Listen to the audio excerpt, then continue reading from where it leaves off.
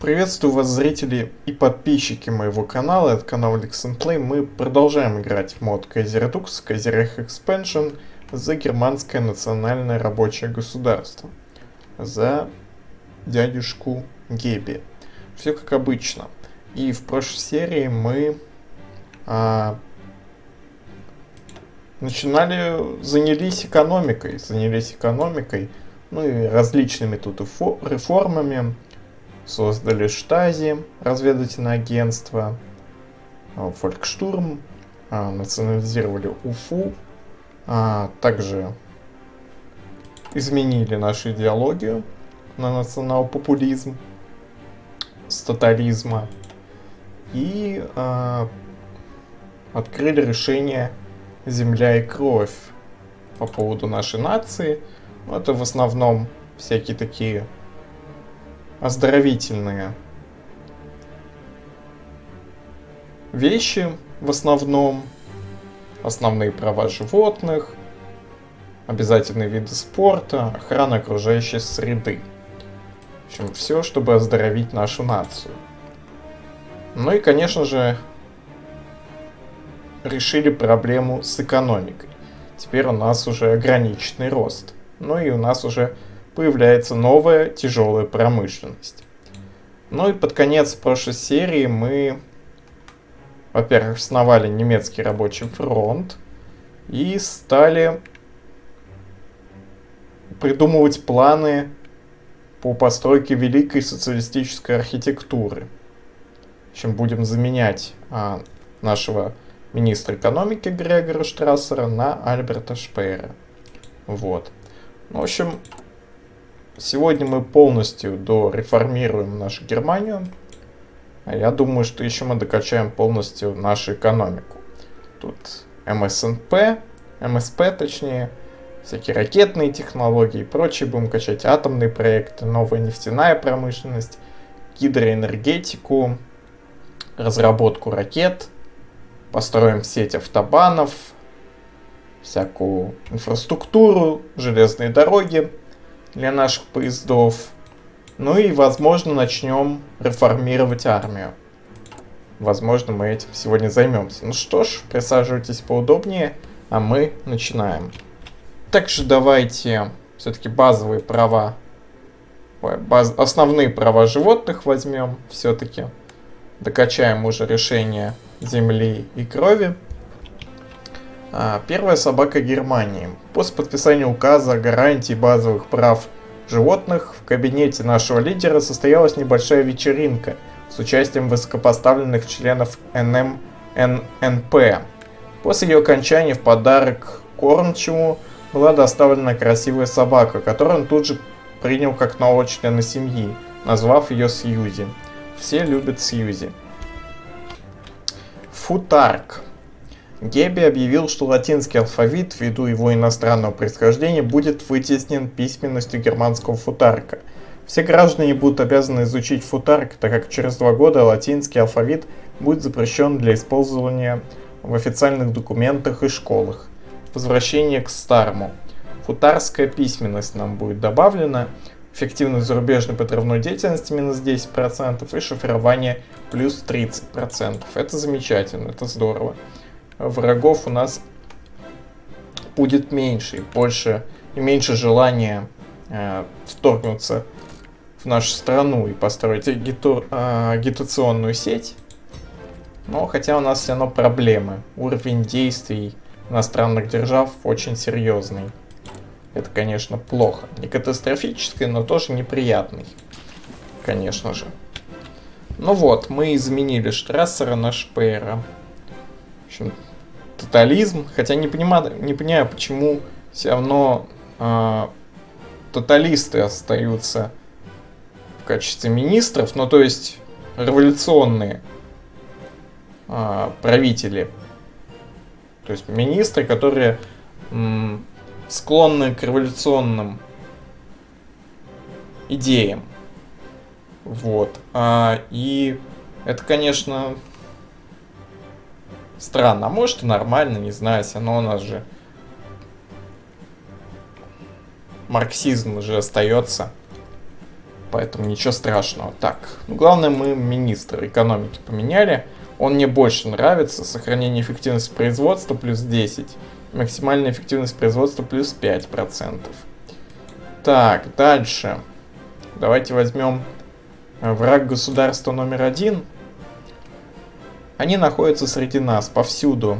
Эти изобретатели и пропагандисты э, капитализма. Эти реакционные капиталистические змеи прячутся в кустах, контролируя банкиров как за границей, так и даже у себя дома, ожидая идеального момента, чтобы нанести удар по нашему рабочему раю, вернуть нас в свои э, дебильные руки. Недавней речи э, наш лидер Геби обруш, обрушился с критикой на банкиров, как иностранных, так и отечественных. Он объявил их государственными злодеями врагом общества номер один, и приказал армии окружить всех оставшихся банкиров, все еще скрывающихся на границах Германии. А, евреев или нет, а, захватить немногие частные банки, которые оставались открытыми в слепых а, зонах правительства. Политическая власть изменится на 50, рост базы стабильности минус 15 и а, минус 12 тысяч ресурсов. Ну и давайте обязательные виды спорта введем. Через 30 дней они будут введены в качестве законопроекта. МСП. Недавно созданное Министерство специальных проектов было создано для того, чтобы использовать величайшие умы нашей страны, чтобы держать нас на переднем крае гражданских и военных наук. Некоторые из этих светлых умов выразили обеспокоенность по поводу предлагаемых нами проектов и разрушительной силы, которые они могут повлечь за собой. Но им следует замолчать. Мы знаем, что если мы не создадим эти изобретения, то это сделает кто-то другой и использует их против нас. Будет добавлена идея Министерства специальных проектов, что даст темпы исследований синтетических ресурсов плюс 10, темпы исследований в электронике плюс 10, а также темпы исследований в промышленности плюс 5, темпы исследований плюс 15 и бонус за обмен технологиями плюс 5. Давайте возьмем Культуркампф. Церковь и другие организации, связанные с ней, глубоко укоренились в немецком обществе. Это дало им такую степень власти, которую мы считаем неприемлемой, особенно с учетом того, что церковь отрицает нашу легитимность. Однако теперь мы чувствуем себя в достаточной безопасности, чтобы отправиться за церковью. Священники диссиденты будут заменены, будут заменены на иконограф... иконография будет уничтожена, а вместе Библии будет распространяться новая священная книга под названием «Капитал». Эта новая церковь рабочего не будет иметь иерархии, не будет питать недоброжелательство государству. Теперь мы спасли рабочего не только в физической сфере, но и в духовной. Выдуманная идея, в общем, не буду зачитывать, потому что неправильно зачитаю, что даст ежедневный прирост власти нам и урон вражеским гарнизонам в наших регионах, оккупированных врагов, врагом. Но это нам особо не особо, пригоди, не особо пригодится, поэтому не знаю. Но есть так есть. Так, давайте созда создадим Volkswagen. Народный автомобиль для немцев. Черная книга партии. Наш кормчий опубликовал этот идеологический шедевр, в котором зафиксированы его идеологические мысли о государстве и обществе. В каждом доме нашей страны должен быть экземпляр этой книги, а также каждый немец должен ее получить в свой 16 16 день рождения. И, конечно же, каждый гражданин должен внимательно прочитать ее, чтобы легко обнаружить и сообщить о любых формах антиправительственных высказываний, действий или подобного рода вещей. Такая у нас книжка теперь появилась. Дальше давайте решение по строительству железных дорог возьмем. Хотя Старая Империя мало что сделала для нас и для немецких рабочих – по крайней мере, нельзя отрицать, что она сотворила чудеса для улучшения своей инфраструктуры. Однако Кайзер, как обычно, сделал недостаточно. Сегодня мы начинаем работу над грандиозной и амбициозной программой Брейцпур-Бахнен или двухколейной железной дорогой, которая свяжет города нашей страны железными дорогами большой колеи, перевозящими наших благородных граждан в двухэтажных железнодорожных вагонах Grand Hotels of the Rails. Это будет трудоемкий проект, так как большая часть существующей железной дороги также должна быть демонтирована, чтобы соответствовать нашим новым, новым стандартам. Но затраченное время окупится в 10 раз за счет скорости и безопасности, которых мы достигнем на наших новых рельсах. И также скорость дивизии плюс 10% будет добавлена идея. Корпус Народной Гвардии. Хотя армия, безусловно, является авангардом революции, исторически военные также были убежищем для реакционных элементов. Посмотрите на один из бесчисленных военных переворотов в истории, чтобы показать, что армия может быть как нашей величайшей силой, так и нашим самым свирепым врагом. Чтобы защитить нашу революцию с помощью действительно революционного военного органа, мы сформируем корпус Народной гвардии, КНГ, для защиты революции. Они получат лучшую подготовку и снаряжение, которые может предоставить наше государство. Им будет поручено защищать революцию от всех внутренних врагов, одновременно охраняя само государства. Будет добавлена идея РП, революционный полк, что даст ежедневный прирост политвласти, скорость дивизии плюс 2, опыт армии плюс 50 будем получать. Вот это, конечно, вкусно. Ским ресурсы провинции плюс 5. Организация дивизии плюс 10. Разведданные врагов минус 10. Потеря организации при движении минус 50. Это тоже, конечно, нехилый баф для дивизий. Небоевые штрафы за недостаток снабжения минус 20. Скорость восстановления дивизии плюс 10. Стабильность плюс 10. Поддержка войны плюс 20. Так и дивизии на национальной территории плюс 3. Шифрование плюс 5. Скорость пополнения плюс 5. Максимум планирования плюс 5. Изменение максимум командного ресурса плюс 25. И, наконец, прирост базовой стабильности плюс 5%. Да, бафов тут, конечно, нам от души накинули. Это прям интересно. Что так дали столько бафов нам. Ну и также давайте уже будем строить первые железнодорожные линии. Давайте Кёльн, Дюссельдорф, э, Дюссельдорф, Ганновер, Гамбург построим пока что. А потом, хотя надо было начать, наверное, с линии Берлин-Гамбург, но, в принципе, без разницы. Также давайте построим сеть автобанов. Для быстрого экономического роста нам нужна инфраструктура, более гибкая, чем железные дороги. Мы сделаем крупные инвестиции в сеть автомобильных дорог под названием автобан. В общем, получим тут по единичке инфраструктуры во многих регионах. Прекрасно. Создание Volkswagen. Благодаря недавним усилиям по целевому финансированию национализированных автомобильных заводов в Германии, партия создала недорогой автомобиль, доступный немецкому народу, названный народным автомобилем, или, если точнее, Volkswagen. Он значительно дешевле по сравнению с иными автомобилями – представленными на рынке во времена правления Кайзера, при этом лишь незначительно уступающий в качестве и эффективности. Ожидается, что благодаря появлению доступного для населения транспорта сократится время пути до работы и обратно, а также снизится нагрузка на общественный транспорт. Помимо очевидного повышения эффективности, новый автомобиль теперь даст немецким семьям больше возможностей путешествовать по Германии, будь то отдых или отпуск. Ожидается, что к концу года, когда государственные автомобильные заводы начнут выпускать с конвейера первые автомобили, Volkswagen будет уже доступен в большинстве крупных городских центров. Настоящее чудо немецкой инженерной мысли в руках народа. Также давайте построим Вольк Семп Фангер, а, то есть радиоприемник, можно, хотя... Не, это не радиоприемник, это телевизор. Давайте телевидение создадим, это нам очень поможет. в качестве пропаганды. Ночь длинных. Несмотря на наши большие успехи в консолидации государства под нашим руководством, нам все еще приходится бороться с очагами внутреннего несогласия, в основном сосредоточенными вокруг оставшихся лидеров Конгресса.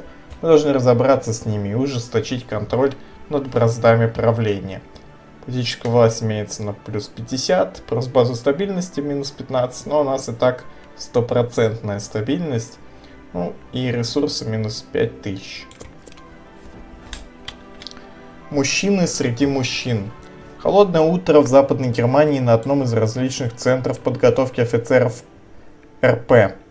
А, солнце светит за горизонтом, туман рассеивается, и влажная трава блестит в солнечных лучах. Это был бы прекрасный день, если бы он не был одним из самых тяжелых учебных дней для нового поколения элитных офицеров Германии. Группа курсантов, вооруженные лопатами, стоит на твердой грязи в поле, их начальник – Начальники наблюдают за ними, затем они отдают приказ начать ретиров, в которые они смогут лечь. Э, загвоздка в том, что танк на другой стороне поля вот-вот начнет движение в их сторону. Если они замешкаются, их... Э, ну, в общем, вы поняли. Им нельзя замешкаться.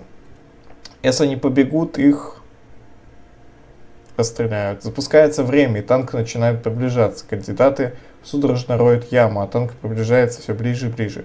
Один храбрый кандидат указывает остальным копать в определенных местах и призывает их копать ради своей жизни, как бы они не устали, не устали их кости.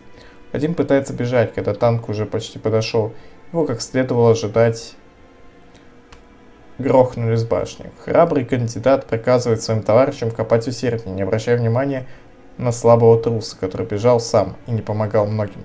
Когда танк проезжает несколько метров, от них ров уже готов – и отважный кандидат следит за тем, чтобы каждый человек успел запрыгнуть в него. Когда танк проезжает мимо, учение заканчивается. Когда начальство спускается вниз, чтобы поздравить курсантов, они особенно хвалят храброго солдата, который командовал своими людьми с мужеством, ставя их выше себя. Если Германия будет производить больше таких мужчин, ее будущее не за горами. Предатель. Был поздний вечер, когда дверь в кабинет нашего лидера тихо открылась, и в нее вошел Паттель. Достав свой люгер, он направился его прямо, он направил его прямо на Геби. Он начал говорить тарабарщину и странные вещи о том, вещи о том, что наш кормчий является реакционером и недостаточно революционен, что он предал революцию, которую он, он Карл Отто Паттель, теперь будет спасать от него. А, кормчий пристально посмотрел в глаза Паттеля и сказал, что такого уродливого человека, как Паттель, никогда не следовало ставить во главе чего-либо, после чего раздался выстрел. И так все закончилось. Так, герой.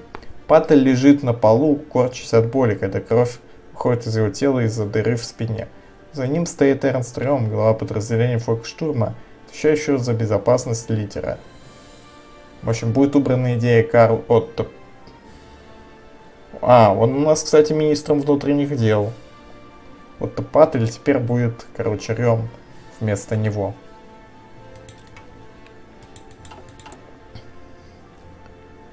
Ну да, тут хотя бы дебафов никаких не будут.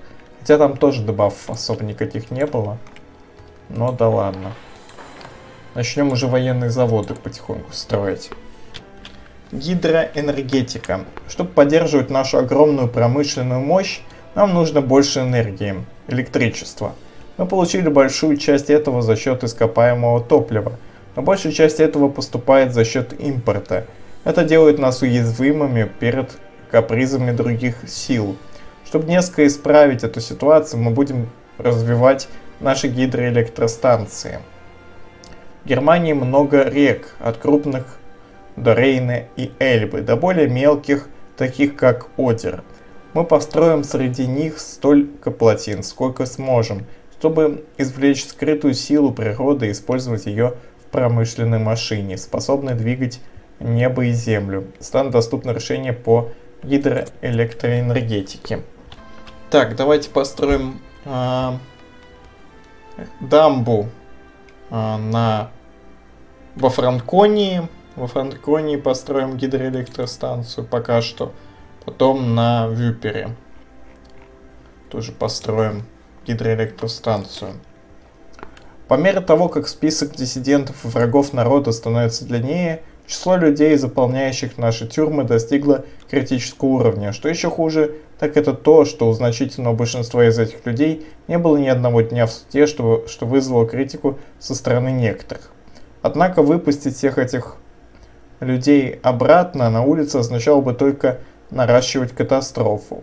Чтобы решить эту проблему, Геби потребовал создания сети э, центров, несудебных реабилитационных центров для военнопленных, чтобы содержать этих э, нежелательных личностей до тех пор, пока не будут, не будут обработаны. То, как мы должны их обрабатывать, потребует другого окончательного решения.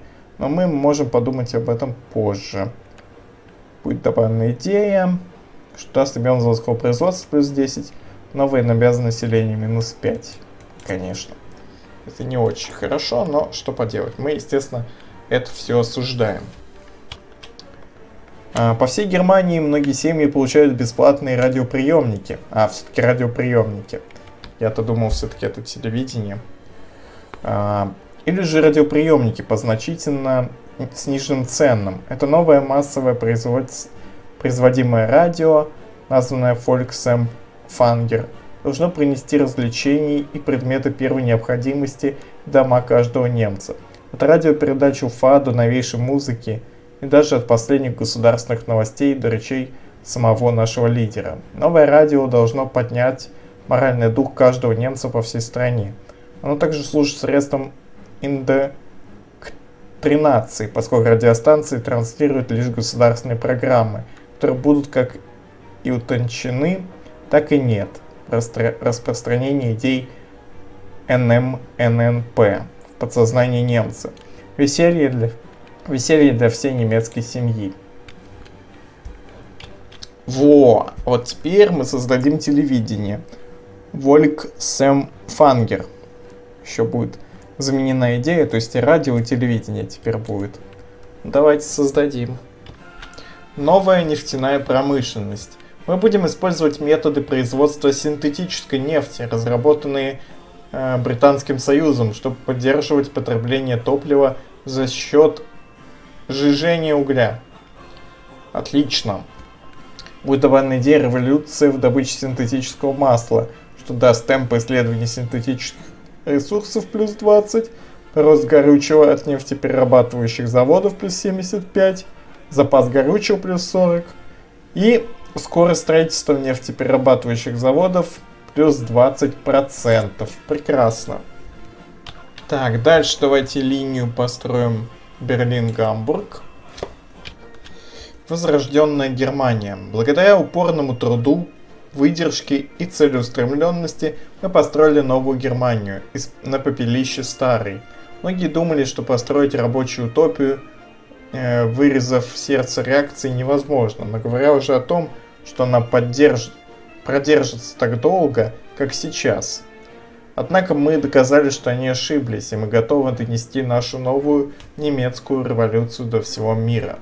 Выданная идея Das New Deutschland произойдет событие День в Мюнхене. Ну и тут тоже неплохие бонусы нам дают.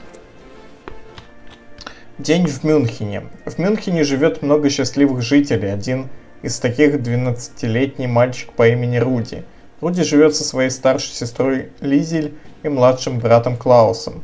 Его отец, служащий НММ, ну, в общем, служащий партии, с тех пор, как сражался с, с ними во время революции против кайзера, а мать гордая домохозяйка, которая ухаживала за ранами героев революции во время их кровавой борьбы. В раннюю субботу Руди и Лизель получили деньги, чтобы сходить и купить на рынке свежие фрукты и хлеб для своего дома. И это занятие особенно пришлось по душе обоим. На открытом рынке, где развивались флаги Новой Германии, покупатели и владельцы магазинов приветствуют друг друга э, вскинутой рукой фразой «Слава Геббельсу». Прежде чем завершить, мы это осуждаем, естественно, прежде чем завершить свою сделку и помахать на прощание рукой, Руди и Лизель привыкли к этому. В конце концов, казалось естественным поблагодарить человека, который принес им процветание. Когда они возвращались домой с рынка, что-то привлекло внимание Руди.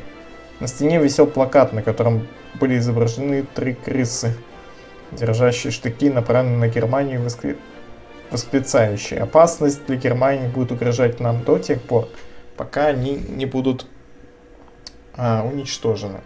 Первая крыса носила берет и усы, вторая пикельхаубе с большими красными губами, а у третьей были курчавые волосы и, в общем, вы поняли. Э, Руди сразу понял, кто они.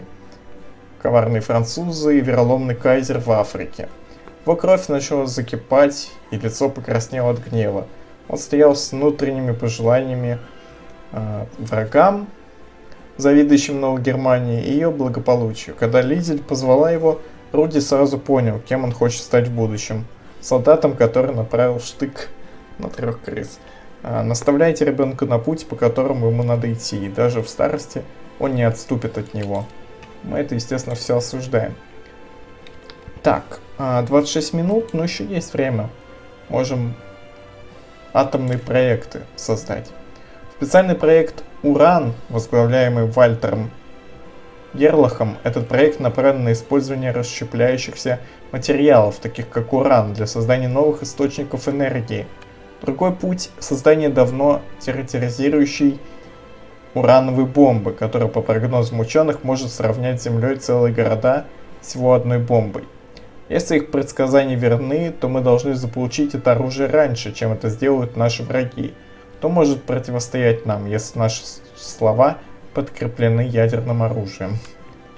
Будет бонус к исследованию атомной технологии по 100% один раз можем использовать этот бонус. Разработка Volkswagen Schächer. На нескольких немецких заводах и лабораториях НМННП уделяет особое внимание финансирование созданию нового изобретения для домашних развлечений. Это новое устройство названо руководством партии научно-исследовательскими лабораториями Volkswagen Schächer. Использует кабельную передачу и радиосигналы для проецирования изображения на экран вместе со звуком. Несмотря на то, что данный продукт находится на ранней стадии, является дорогостоящим в производстве, это не помешало высшему руководству партии установить это визуальное радио в своих домах. В настоящее время на Volkswagen Шехер есть только два канала. Новостной и развлекательный, который в основном состоит из живых музыкальных выступлений в различных студиях Уфа.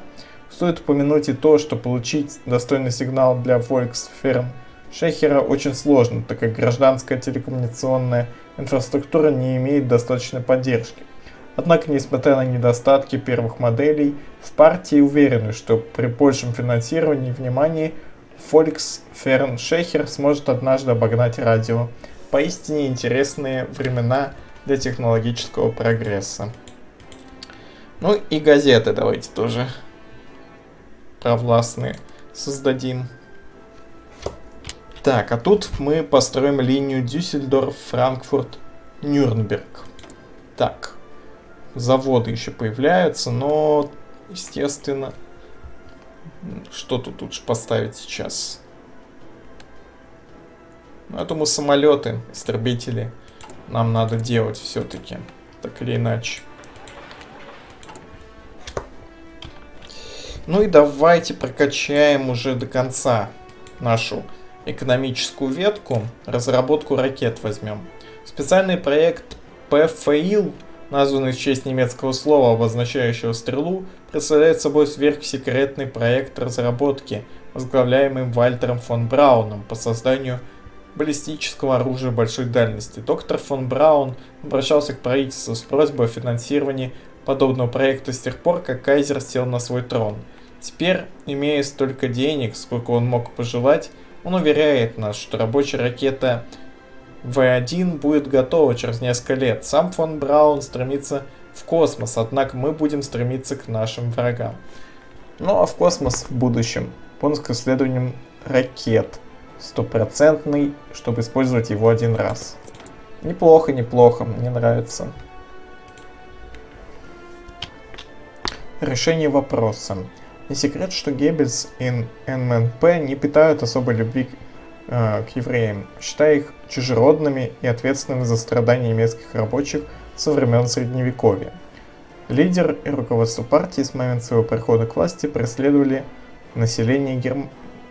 в общем, еврейское население в Германии. В последнее время их режим усиливает действия по решению вопроса о них в стране. Для выполнения этой задачи лидер подписал указ о создании Центральной организации по делам нежелательных граждан, действующей как подразделение РР, укомплектованный членами РР с обширными знаниями в области а, этой темы, и некоторые из них даже свободно говорят на иврите. Это отдел, как ожидает режим, разрабатывает план по изгнанию нежелательных, нежелательного населения с немецких земель, или, по крайней мере, по их изоляции.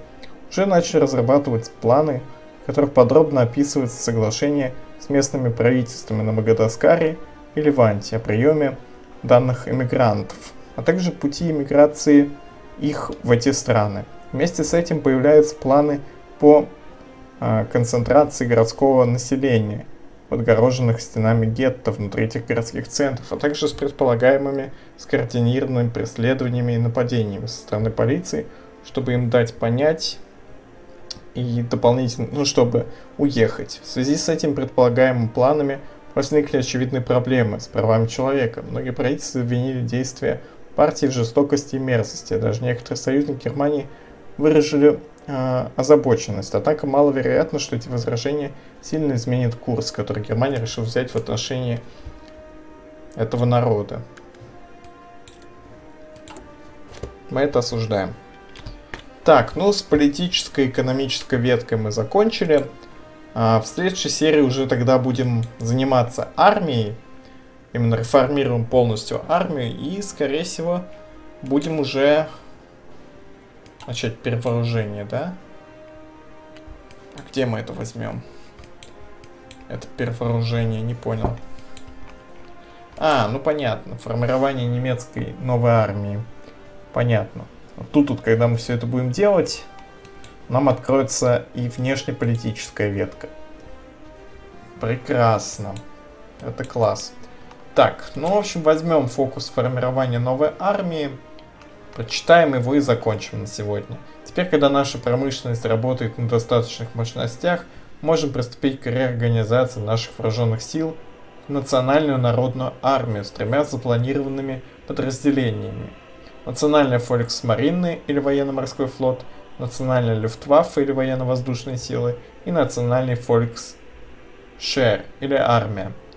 Эта новая армия будет более современной более эффективны, чем когда-либо могли, бы, а, могли быть старые имперские вооруженные силы. Они будут защитниками революции у себя дома и даже за границей. Вот, ну что ж, на этом я тогда буду заканчивать. Всем спасибо за просмотр. Обязательно подписывайтесь на канал, кто не подписан. Подписывайтесь на все соцсети в описании. Мои соцсети. Также подписывайтесь на группу ВКонтакте переводчиков, которые предоставили данный перевод этого мода мне. Ну и качайте именно тоже русификатор этого мода по ссылке в описании. Качайте только русификаторы от группы Lingua, потому что они единственные официальные переводчики Кайзердукса и довольно делают качественные переводы, хоть и бывают всякие косячки маленькие и какие-нибудь неточности, ошибочки. Но это у всех бывает. Ну а так они очень делают хорошую и трудную работу. Поэтому выражаю благодарность им. И вам тоже советую. Ну а на этом все. Подписывайтесь на канал, ставьте пальцы вверх и знайте, что самое интересное еще впереди. Всем удачи и пока.